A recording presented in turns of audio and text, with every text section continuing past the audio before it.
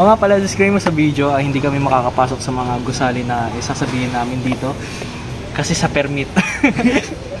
so, uh, mapapakita lang namin yung lugar at saka mga uh, tawag dito, mga brief history dun sa mga lugar na papakita namin. Tapos, dahil nga dun, kasi yung permit, kailangan pa pala one week beforehand bago kami maka-video sa loob ng kahit anong lugar dito. Eh, tapos kailangan pa ng uh, tawag dito, pirma ng guidance, uh, pirma ng teacher. So mahabang uh, mahabang etos pa kaya ito na lang muna yung video.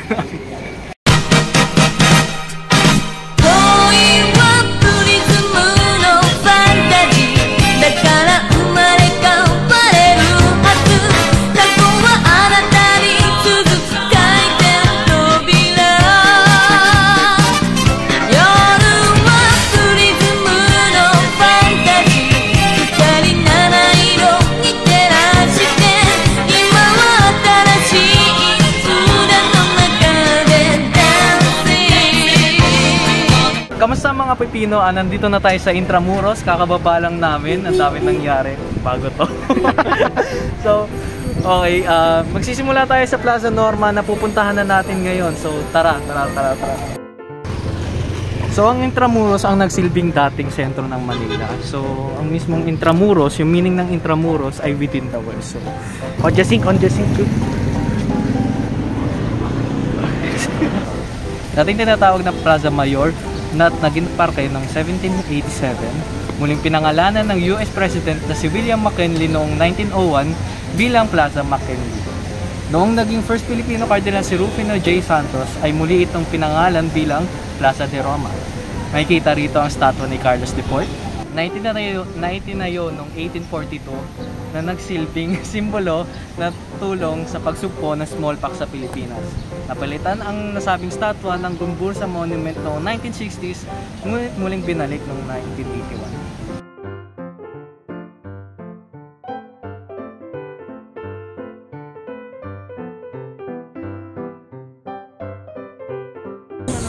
Anong meaning ng KKK? Talpo. Ako narinig. Ako narinig. Ako narinig. Oo, so. Ganda gagi. Ang Dalmatian yan. Gagi hindi, ano yan? Bulldog. Yung bulldog, gagi. Tingnan mo yung stripes, oh. Gagi. Pero baka ano yan? Pag nakalimutan ko- Japanese dog yan. Japanese dog. Japanese dog, ayun, naglalakad yung Japanese dog. bulldog yun eh. Japanese dog Di ba yun, bulldog yan? Manok!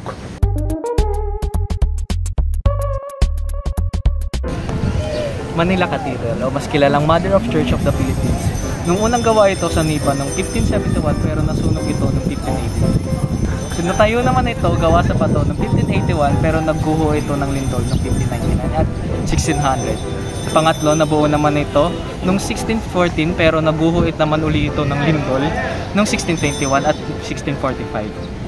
Pang-apat, Pangapat, binuo naman siya ulit nung 1654 hanggang 1681 pero sa sobrang damage nito sa bagyo at earthquake, dinemolish ito nung 1751. Pero nasira na naman ito ng lindol noong 1863. Sumunod naman ay ginawa ito nung 1879 pero na-damage na naman ng lindol at nasira noong 1945 sa Battle of Manila. Ang nakikita naman natin ngayon ay gawa noong 1958.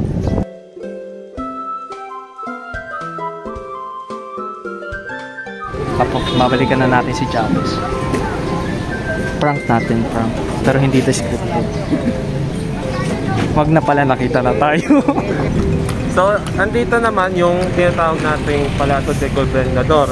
Pinakaunang baluarte na tinatawag na Palacio Real dahil dito tumitira ang Gobernador General na Pilipinas noong 1599. Naging real audiensya matapos ang lindol noong 1645. Naging abandonadong instruktura nang lumipat ang Gobernador General sa Malacanang ngunit nagsilbing air raid shelter noong World War II kung saan pinaslang ang walumpong lalaking civilian. So, yun. Ito na po yung ano, Gobernador General. Wala po siya dyan ngayon.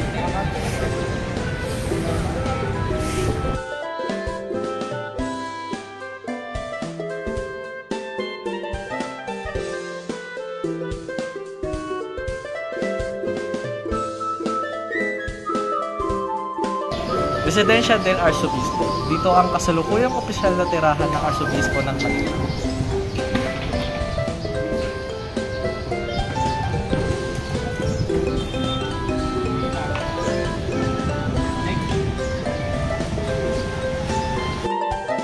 Yung napapansin ko lang ha, yung magre-record kami, dumadaan yung mga kotse. Kaya nga nakaupo lang kami dun, no? wala naman dumadaan.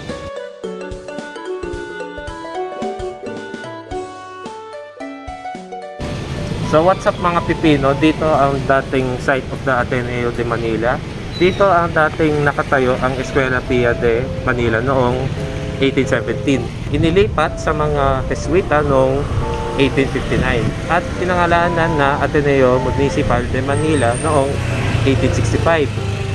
Ngayon, ang kilalang Ateneo de Manila ay nasa Loyola Heights, Quezon City.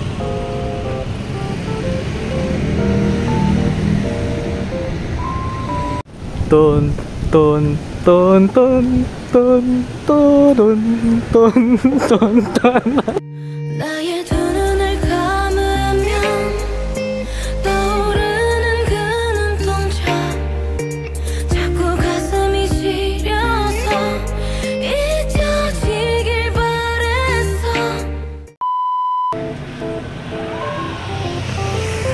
Bahay Chinoy, masayang sumisimbolo sa mga natitirang artifact na nagtataglay ng influensyang dyan.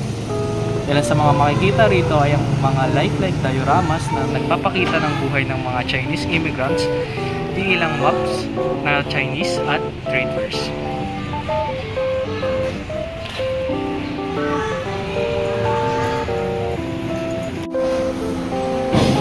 San Agustin Church and Museum.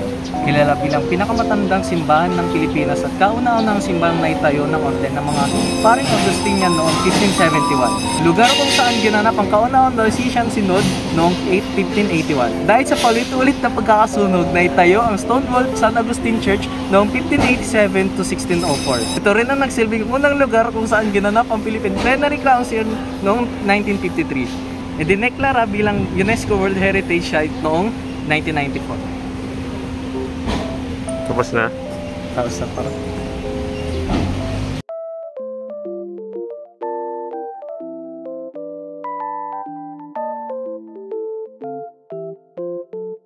Par, par. Gusto mo, par, gusto mo ng kayakap, di ba?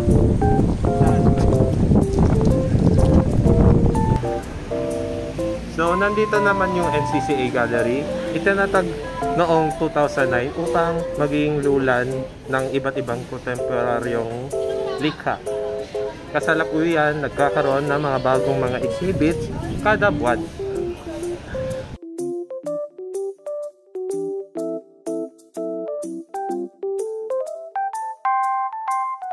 Ang ganda sana pumasok sa mga ganito, no? Oo. Kung may permit lang tayo.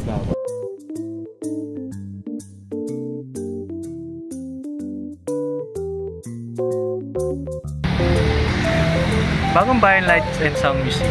Nagsilbing pangunahing proyekto ng Visit Philippines 2003 campaign. Dating kumbento ng mga padre ng Beatrico de la Campaña de Jesus na ngayon kilala bilang Religious of the Virgin Mary.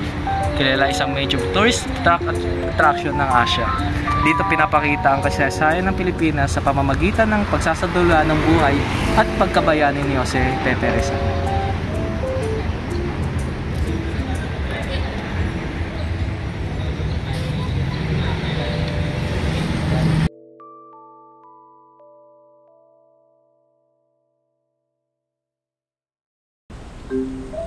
Fort Santiago. Ipinatayo ito noong 1571 kung saan nanirahan si Raja Suliman.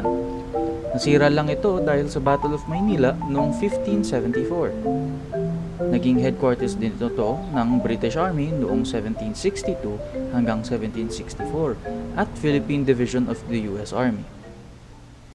So, okay, madami kaming nai- nalibot ngayon. Marami rin kami napakita na ah, mga lugar. Ah, sana informative sa inyo yung mga pinagsasabi namin. so, okay, kahit medyo madami kaming naging issue ngayon about sa sunog, about sa permit. Well, kahit pa paano nagawa naman namin ng paraan sa video na to. So, ah sana may marami sana marami kayong natutunan tamang posing kayo dyan ha so ah Ako to, si Mark Sagaad at Chiabas Gimboa. Brian Cabrito. Hapon.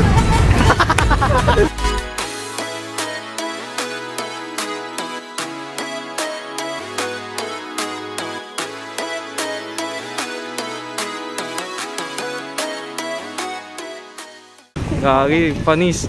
Ano yan? Dun, dun, dun, dun, dun, dun, dun, dun, dun, dun, dun. Dun, dun. Dun, dun.